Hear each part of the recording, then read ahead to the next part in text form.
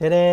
มและนี่ก็คืออาหารที่นายตึ๋งหนืดสั่งผ่านแอปพลิเคชันเป๋าตังในโครงการคนละครึ่งนะครับ ผ่าน food delivery นั่นเองนะครับ อย่างโจ๊กตัวนี้เนี่ย มาจากแพลตฟอร์มของ Grab Food นะครับ ส่วนขนมบราวนี่ตัวนี้มาจากแพลตฟอร์มของ Line Man นั่นเองนะครับ แล้ววันนี้นายตึ๋งหนืดจะมาแนะนำวิธีการสั่งให้คุณผู้ชมได้ดูกันครับ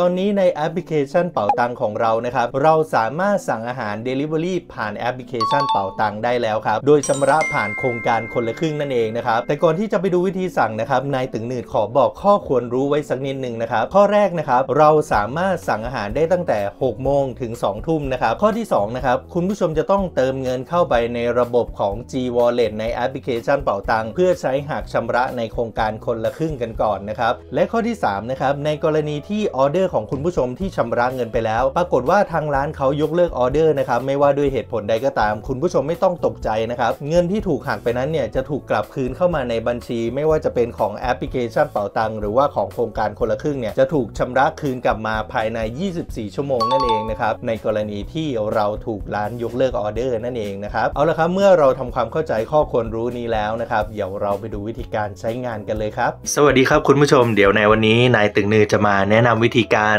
สั่งอาหารผ่านแอปพลิเคชันเป๋าตังในโครงการคนละครึ่งที่เราเพิ่งได้กันนี่เองนะครับ อันดับแรกนะครับเราจะเริ่มใช้งานแอปพลิเคชันเป๋าตังของเรากันเลยครับ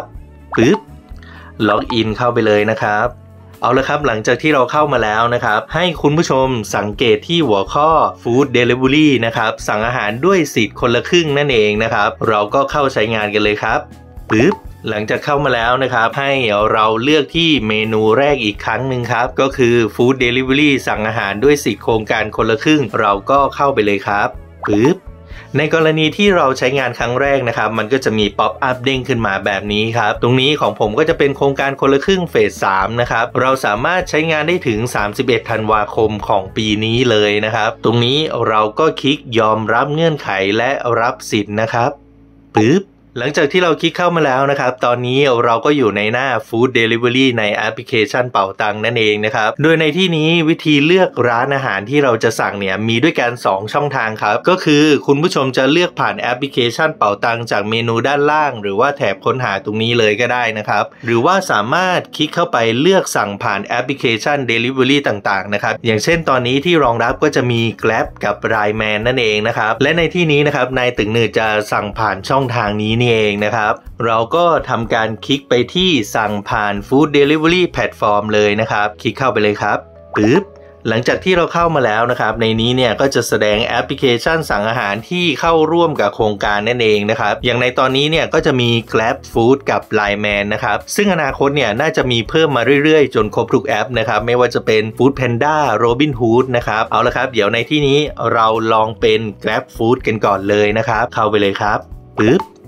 หลังจากที่เราเลือก Grab Food เข้ามาแล้วนะครับ มันก็จะอยู่ที่หน้านี้ในตัวแอปพลิเคชัน Grab เลยครับ จากนั้นนะครับให้คุณผู้ชมสังเกตที่หัวข้อร้านค้าที่ร่วมรายการคนละครึ่งนั่นเองนะครับ หัวข้อนี้นี่เองนะครับ เข้าไปเลยครับปึ๊บหลังจากเข้ามาแล้วนะครับ ในนี้เนี่ยก็จะเป็นร้านค้าที่ร่วมโครงการคนละครึ่งทั้งหมดนั่นเองนะครับ เราก็สามารถเลือกสั่งร้านค้าในนี้ได้เลยครับ อย่างในที่นี้ผมจะลองสั่งเป็นร้านนี้นะครับปึ๊บ อย่างในที่นี้นะครับนายตึงหนึ่งก็เลือกสั่งเป็นโจ๊กทะเลนั่นเอง หลังจากที่เราสั่งรายการอาหารเสร็จแล้วนะครับ ให้เรามาคลิกที่ปุ่มสีเขียวด้านล่างนะครับ ก็คือตะกร้ารายการสั่งอาหารนั่นเองนะครับเข้าไปเลยครับ ปึ๊บหลังจากคลิกเข้ามาแล้วนะครับ ตรงนี้เนี่ยก็จะเป็นหน้าสรุปรายการครับ สังเกตง่ายๆนะครับว่าออเดอร์ของเราเนี่ยใช้สิทธิ์โครงการคนละครึ่งนะครับ มันขึ้นให้อยู่ตรงนี้เลยนะครับ ตรงนี้ก็จะเป็นรายละเอียดค่าใช้จ่ายนั่นเองนะครับ ก็คือค่าอาหาร 50 บาท ค่าจัดส่ง 10 บาท ในตึงหนึ่งต้องบอกว่าค่าจัดส่งเนี่ยเราต้องจ่ายเองนะครับ จ่ายผ่านพี่ไรเดอร์ที่เขามาส่งนั่นเอง อย่างในที่นี้เนี่ยค่าส่งอาหารจะอยู่ที่ 10 บาทนั่นเองนะครับ คุณผู้ชมต้องเตรียมเงินสดไว้จ่ายตอนรับของด้วยนะครับ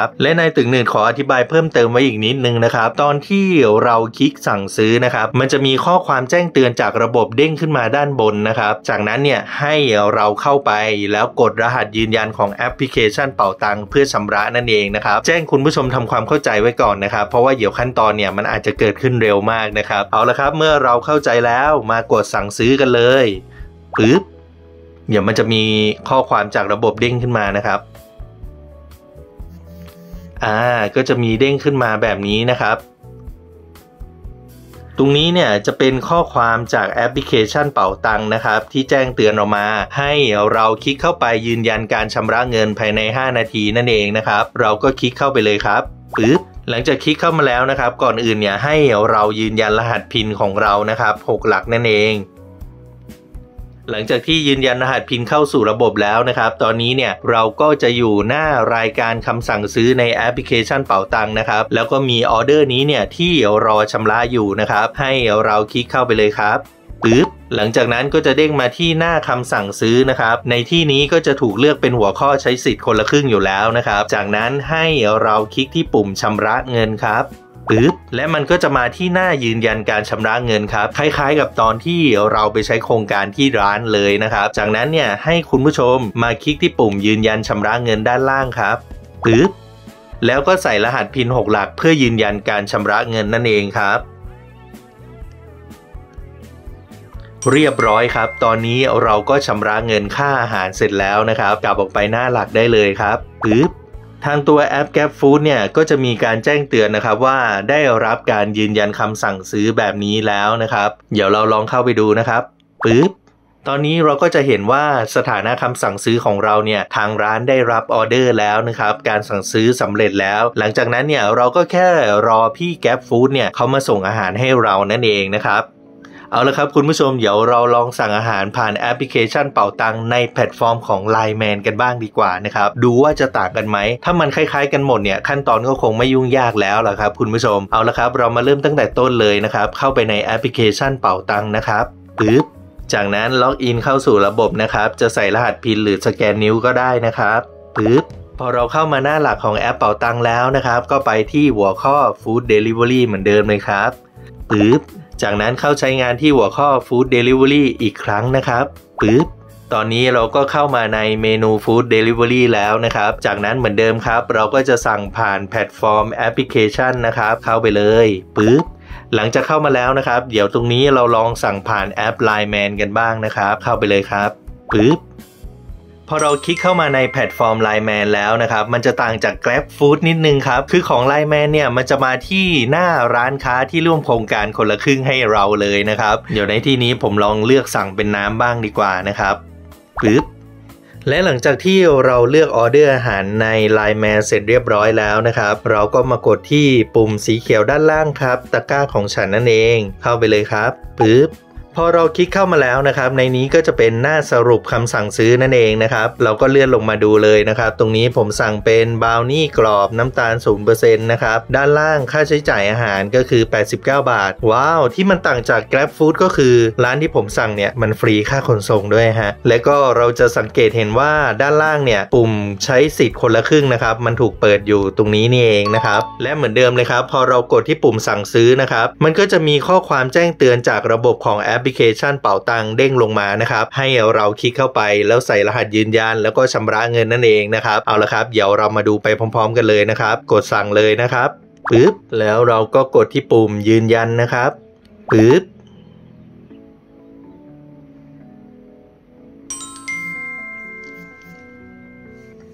เรียบร้อยครับคุณผู้ชมเราก็จะเห็นว่ามันมีข้อความแจ้งเตือนจากระบบของแอปพลิเคชันเป่าตังนะครับ ให้เรายืนยันการชำระเงินภายใน 5 นาทีนั่นเองนะครับ เราก็คลิกเข้าไปเลยครับปึ๊บพอคลิกเข้ามาแล้วนะครับ ก่อนอื่นเราต้องใส่รหัสพินยืนยันเพื่อเข้าแอปพลิเคชันเป่าตังนะครับ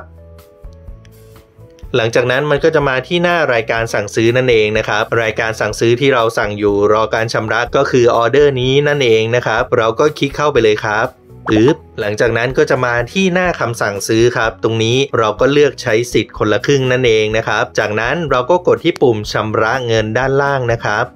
ปึ๊บต่อมาก็จะเป็นหน้ายืนยันการชำระเงินในแอปพลิเคชันเป๋าตังนั่นเองนะครับ จากนั้นเราก็กดที่ปุ่มยืนยันการชำระเงินด้านล่างได้เลยครับปึ๊บ แล้วก็ใส่รหัส PIN 6 หลักยืนยันการชำระเงินนั่นเองนะครับ เรียบร้อยครับ ตอนนี้เราก็ชำระเงินค่าอาหารที่เราสั่งผ่าน Line Man แล้วนะครับผมจากนั้นเนี่ยเราก็แค่รอ Line Man มาส่งอาหารให้เรานั่นเองนะครับ และนี่ก็คือทั้งหมดนะครับสำหรับการสั่งอาหาร food delivery ผ่านแอปพลิเคชันเป๋าตังในโครงการคนละครึ่งนั่นเองนะครับ ช่วยเราประหยัดค่าใช้จ่ายนะครับ และที่สำคัญนะครับ ลดความเสี่ยงที่เราจะออกไปข้างนอกได้ด้วยนะครับ คุณผู้ชมก็ลองนำไปใช้งานกันดูนะครับ และนี่ก็คือทั้งหมดสำหรับวันนี้นะครับ สุดท้ายนี้ฝากกดติดตามทุกช่องทางที่คุณผู้ชมได้รับชมนายตึงหนืดด้วยนะครับนายตึงหนืดจะนำอะไรดี ๆ แบบนี้มาฝากคุณผู้ชมอยู่เรื่อยๆครับผมแล้วพบกันใหม่คลิปหน้าครับสำหรับวันนี้ลากันไปก่อนบ๊ายบาย